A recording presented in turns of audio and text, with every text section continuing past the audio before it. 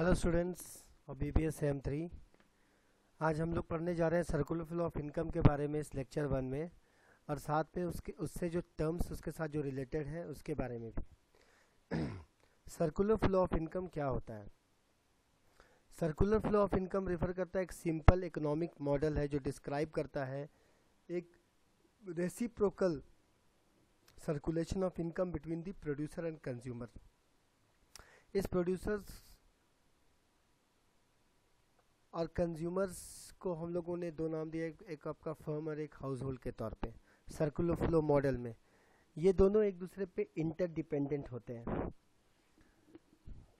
Like like, firm जो है उसको गुड्स एंड सर्विसेज़ प्रोड्यूस करने के लिए क्या चाहिए? लैंड चाहिए लेबर चाहिए कैपिटल चाहिए एंटरप्रेन्योर चाहिए। इसके लिए इन सारे फैक्टर्स ऑफ़ प्रोडक्शन को लेने के लिए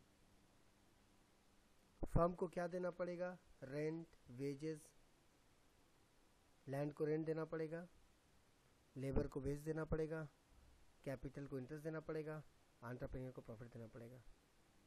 और ये फर्म को ये सारे फैक्टर्स मिलेंगे कहाँ से? हम हाउस होल्ड से ही मिलेंगे। हाउस होल्ड कौन? हम लोग। ठीक है, हम ही लोग में से कोई किसी का लैंड होगा, हम ही लोग में से किसी का कैपिटल होगा, हम ही लोग में से कोई लेबर होगा, हम ही लोग में से कोई एंटरप्रेन्योर होगा। तो यहाँ पे क्या होगा कि जब फर्म इन सारे फैक्टर्स को लेगा तो बदले में फैक्टर पेमेंट करेगा। तो मनी जो है मनी जो है वो फ्लो करेगा फर्म से हाउस होल्ड को। अब फर्म जो है, इन सारे फैक्टर्स पे जो एक्सपेंडिचर किया है, उससे वो वो क्या करेगा? गुड्स एंड सर्विसेज़ प्रोड्यूस करेगा। ये जो गुड एंड सर्विसेज़ प्रोड्यूस करेगा, किसके लिए करेगा? हाउस होल्ड के लिए करेगा, हम लोग के लिए करेगा। अब ये हाउस होल्ड जो इनकम कमाया था, उसी से ना वो गुड्स एंड सर्विसेज़ खरीदेगा फर्म का। तो हाउस होल्ड क्या करेगा? वो जो पैसा उसके पास आया, उससे वो गुड्स एंड सर्विसेज़ खरीदेगा। तो क्या होगा? मनी जो है, अब वो ट्रांसफ़र करेगा हाउस होल्ड से फर्म की तरफ़ फ्लो करेगा। तो एंटी क्लॉकवाइज चाहता है ये। पहले हाउस होल्ड से, पहले फर्म से हाउस होल्ड फिर हाउस होल्ड से फर्म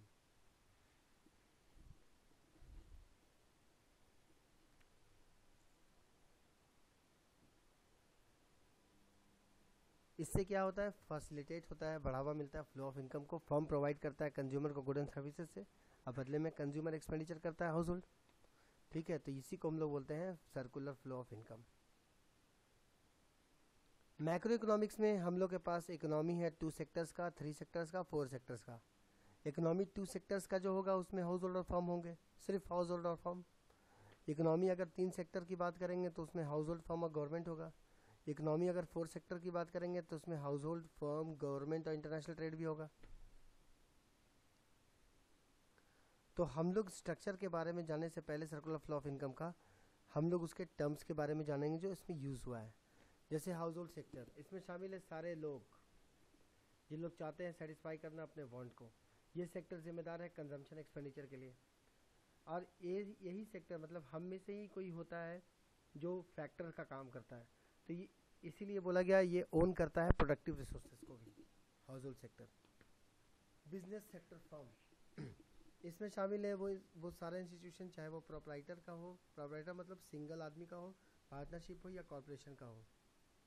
जो टास्क करता है कंबाइन करने का रिसोर्सेज को ताकि प्रोड्यूस कर सके गुड एंड सर्विसेज़ को। कंबाइन कर सके सारे फैक्टर्स को। रिसोर्सेज क्या है? लैंड है लेबर है कैपिटल है एंटरप्रेन्योर है।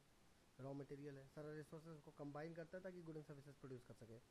ये सेक्टर प्रोडक्शन करता है। ये सेक्टर गुड्स एंड ये ये सेक्टर कैपिटल गुड्स को भी खरीदता है इन्वेस्टमेंट एक्सपेंडिचर से। तो ये फर्म भी कहीं ना कहीं क्या है? एक कंज्यूमर है।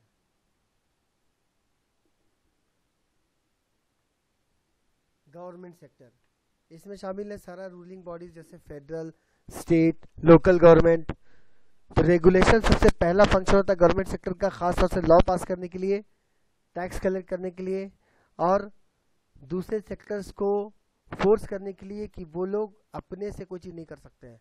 They have to follow the rules and regulation of the government ये भी जीडीपी जीडीपी मतलब कंट्रीज़ टोटल प्रोडक्शन जो हो रहा है फाइनल गुड एंड सर्विसेज़ का कंट्री में एक साल में. उसको जीडीपी बोलते हैं।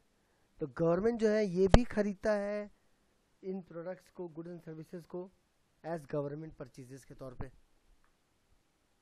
उसके बाद आता है आपका प्रोडक्ट मार्केट ये कॉम्बिनेशन है उन सारे तरह के मार्केट का इकोनॉमी में जो एक्सचेंज करता है फाइनल गुड्स एंड सर्विसेज़ को।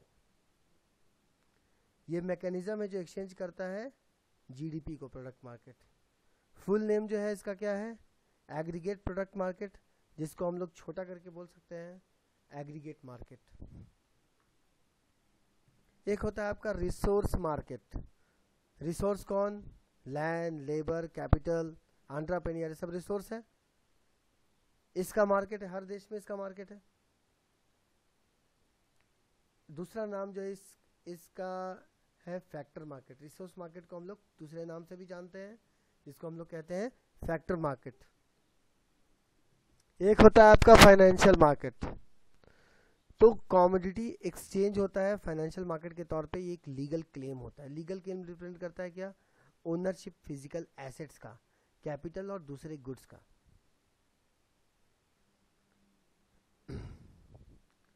क्योंकि एक्सचेंज जो होता है लीगल क्लेम्स का इसमें शामिल है काउंटर फ्लो ऑफ़ इनकम तो वो लोग चाहते हैं जो सेव करना इनकम वो लोग क्या करते हैं?